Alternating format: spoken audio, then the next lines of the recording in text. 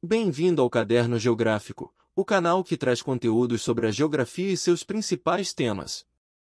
No vídeo de hoje, vamos falar sobre a vida e a contribuição dos três principais geógrafos brasileiros, Aziz Abessaber, Milton Santos e Berta Becker. Este vídeo é uma oportunidade para entendermos melhor a história da geografia brasileira e como esses três grandes geógrafos contribuíram para o desenvolvimento dessa disciplina em nosso país. Acompanhe agora o caderno geográfico e descubra como a geografia pode nos ajudar a compreender o mundo em que vivemos. Vamos começar com Aziz Abessaber. Aziz Abessaber é considerado um dos mais importantes geógrafos brasileiros, tendo contribuído significativamente para a geomorfologia e a geografia física em geral. Ele criou o conceito de domínios morfoclimáticos para explicar a diversidade ambiental do Brasil. Nascido em São Luís do Paraitinga, em São Paulo, em 1924, Abe Saber graduou-se em Geologia pela Universidade de São Paulo, em 1949, e obteve seu doutorado em Geografia Física na Sorbonne, em Paris. Foi um dos fundadores da Universidade Estadual de Campinas, Unicamp, e professor emérito da USP. A.B. Saber contribuiu significativamente para a compreensão da história geológica do Brasil, especialmente na Amazônia, e na interpretação do clima e da vegetação no país. Seus estudos permitiram entender melhor como os diferentes elementos do ambiente, como o relevo, o clima, o solo e a vegetação, estão interligados e influenciam um ao outro. Ele também foi um grande defensor da preservação do meio ambiente e da conservação da biodiversidade. A.B. Saber acreditava que a proteção do meio ambiente era uma questão de sobrevivência para a humanidade e que o desenvolvimento econômico deveria ser planejado de forma sustentável, levando em consideração as limitações e potencialidades do meio ambiente. Seu legado para a geografia brasileira é imenso, e suas ideias continuam a influenciar estudiosos e pesquisadores até hoje. Aziz Abessaber faleceu em 2012, mas sua contribuição para a geografia e a ciência em geral será sempre lembrada. Agora iremos falar sobre o geógrafo Milton Santos. Milton Santos, por sua vez, foi um dos pioneiros em estudar a relação entre geografia e globalização.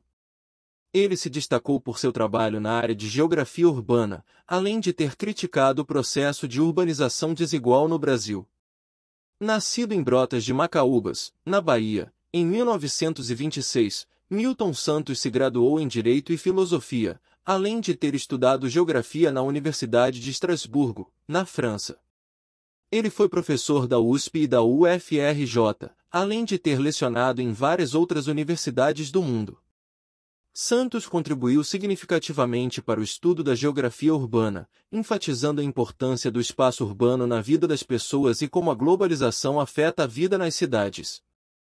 Ele também criticou o processo de urbanização desigual no Brasil e como as desigualdades socioeconômicas são reproduzidas no espaço urbano. Além disso, Santos foi um dos primeiros a estudar a relação entre geografia e globalização.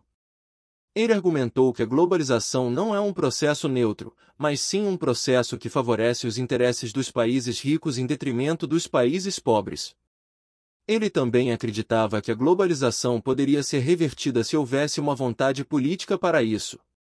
Milton Santos recebeu vários prêmios e honrarias ao longo de sua carreira, incluindo o prêmio Waltrin Lud, considerado Nobel da Geografia, em 1994. Ele faleceu em 2001, mas sua obra continua a influenciar a geografia e outras áreas do conhecimento até hoje. Por fim, Berta Becker contribuiu para a geografia regional e a sustentabilidade, estudando a relação entre economia, sociedade e meio ambiente. Ela defendeu a necessidade de uma abordagem integrada e sustentável para o desenvolvimento regional, além de ter sido uma importante defensora da preservação do meio ambiente e dos direitos indígenas no Brasil. Vamos conhecer mais sobre a sua vida e suas principais ideias. Nascida em 1930, em Colônia do Sacramento, no Uruguai, ela foi uma das primeiras mulheres a se formar em Geografia na Universidade Federal do Rio de Janeiro, onde também obteve seu doutorado. A obra de Berta Becker é marcada pela sua preocupação com as questões ambientais e sociais. Ela foi pioneira em estudos sobre a Amazônia e se tornou uma grande defensora da preservação do meio ambiente. Foi uma das primeiras a destacar a importância do bioma amazônico para a manutenção do equilíbrio climático do planeta. Berta Becker também foi uma das primeiras geógrafas a abordar a questão da globalização e seus impactos na economia, na política e na sociedade.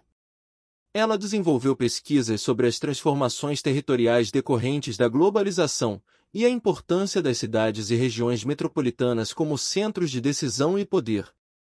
Além disso, a geógrafa também foi muito engajada em questões políticas, participando ativamente de movimentos sociais e políticos.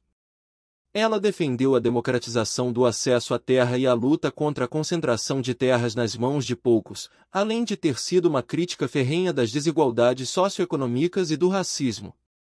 Berta Becker deixou um legado importante para a geografia e para a sociedade em geral, sendo reconhecida como uma das maiores referências da geografia crítica no Brasil. Ela faleceu em 2013, mas sua obra continua a inspirar novas gerações de geógrafos e ambientalistas. E assim chegamos ao final deste vídeo sobre os três principais geógrafos brasileiros, Aziz Abessaber, Milton Santos e Berta Becker.